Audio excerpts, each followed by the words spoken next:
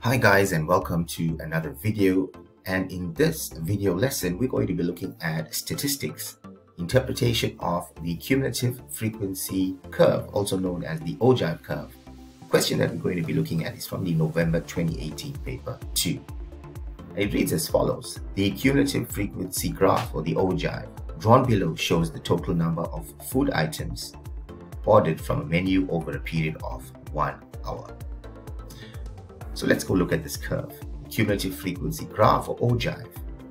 And as you can see, the cumulative frequency is on the y-axis and the number of minutes is on the x-axis, our independent variable. And as you can see, the ogive or cumulative frequency curve looks like an S-shaped curve. Now, the first question that we have here, it says write down the total number of food items ordered from the menu during this hour. So the total number of food items ordered from the menu during this hour will be the sum of all your frequencies, which will be 140.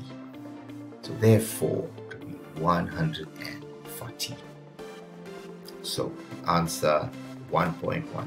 1 is 140 food items. The next question is write down the modal class of the data. The word modal means the frequency must be the highest for that particular class. So we're looking for the class with the highest frequency. So the highest frequency would be the distance between two dots, which will be the greatest. So we're looking for the greatest distance between any two of these dots. And we can see here that between 20 and 30, we have the greatest distance, which will mean that this is the highest frequency.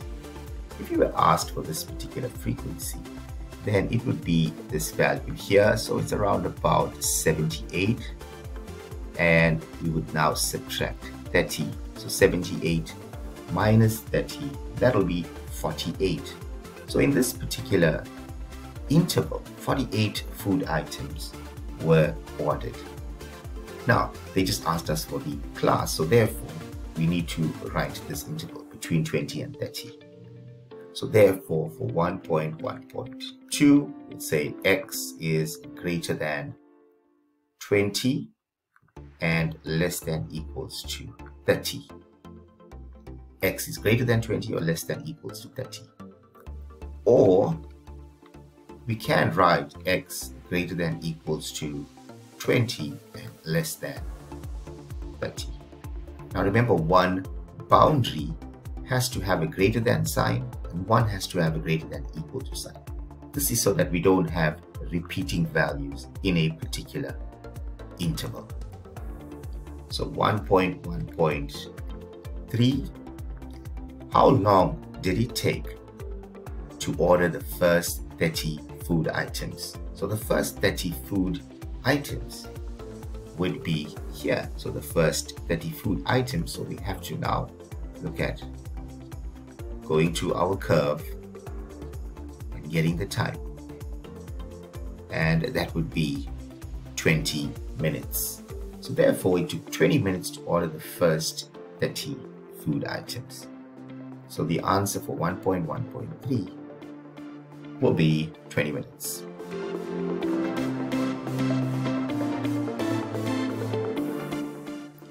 1.1.4. Now in this particular question they say how many food items were ordered in the last 15 minutes. Here they want the number of food items. So we have to now look to the y-axis for our solution. The last 15 minutes.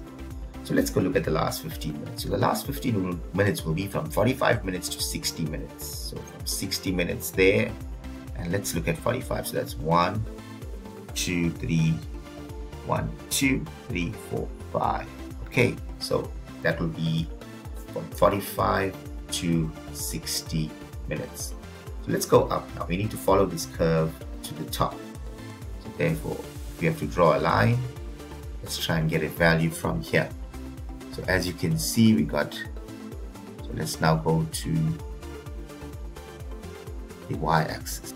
So as you can see, it's going to be roughly around about so that'll be 126 there So therefore, we're going to say 140 minus 126 for the last 15 minutes. So therefore, that'll be 140 food items minus 126 food items for the last 15 minutes. And that will give us an answer of 12 food items. So therefore, 12 items were ordered in the last 15 minutes. 1.1.5 Determine the 75th percentile for the data.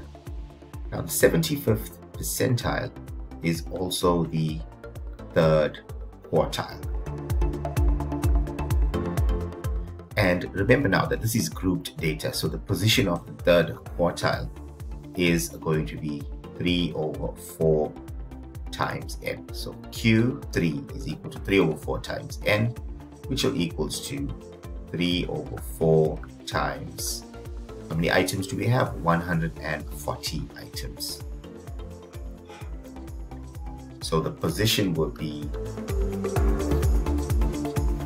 3 over 4 times 140 equals to 105. So therefore we're looking at 105 for the 75th percentile of the data. So if we look up here, we can now see that we have 100 here and 110. So in the middle will be 105. So let's look at that. So what you would do is you would take your ruler, you would try to be as accurate as you possibly can. 4, 5, 6, 7. So that'll be 37. So therefore, we are looking at 37 minutes for our third quarter. So once again, we will just write down our solution. So therefore, that will be 37 minutes. Right, so once again, make sure that you know how to work out the position of your third quartile. Now remember that this is for grouped data.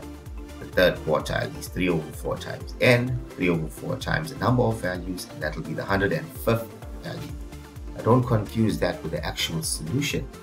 Remember, we now looking at the 105th value, and therefore there's it here, 105, and then we have to come down to our x-axis and read our answer from there in minutes. So x equals to 37 minutes. Calculate the interquartile range of the data. So what is the interquartile range? Now the interquartile range, the formula is Q3 minus Q1. Now this is a measure of dispersion, measure of dispersion which is spread around the median. Q3 minus Q1 we already have the Q3 value, which is 37 minus, let's get Q1. Now for Q1, the position of Q1 would be, let's write it down. Well, we can write it down here. Q1 will equals to 1 over 4 times n. So that's the position of your first quartile. So 1 over 4 times 140 equals 2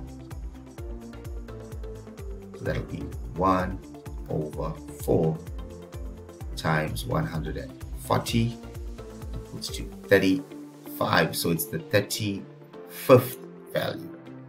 So therefore, we're going to go up here and we're going to look at where's our 35th value.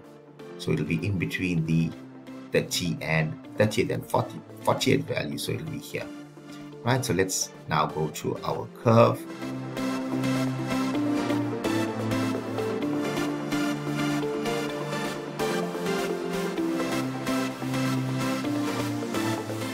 So that would be roughly about 22 minutes. So we're looking at around about 22 minutes. Now remember, a range of answers are going to be accepted in the exam, but try to be as accurate as possible. Use your ruler. So therefore, Q1 will be 22 minutes. So we'll write down 22 minutes. And just subtract with 2. 37 minus 22 will be 15 minutes.